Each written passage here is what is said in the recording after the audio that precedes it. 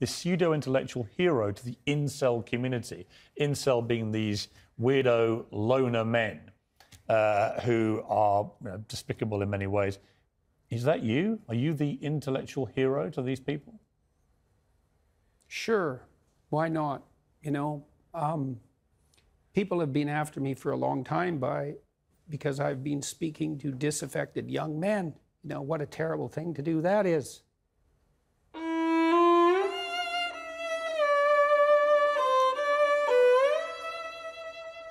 Thought the marginalized were supposed to have a voice. It's making you emotional. Talk about that. Well, God, you know. It's very difficult to understand how demoralized people are. And certainly many young men are in that category. And you get these casual insults, these these incels. What does it mean? It's like, well, these men, they're they don't know how to make themselves attractive to women who are very picky and good for them. Women like be picky. That's that's your gift, man.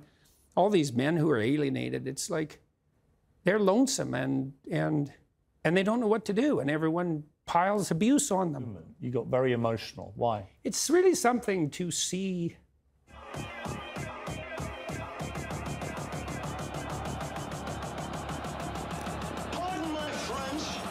constantly.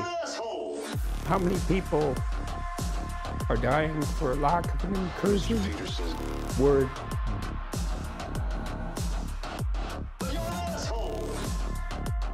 And how easy it is to provide that if you're careful. You know, give credit where credit is due. And to say,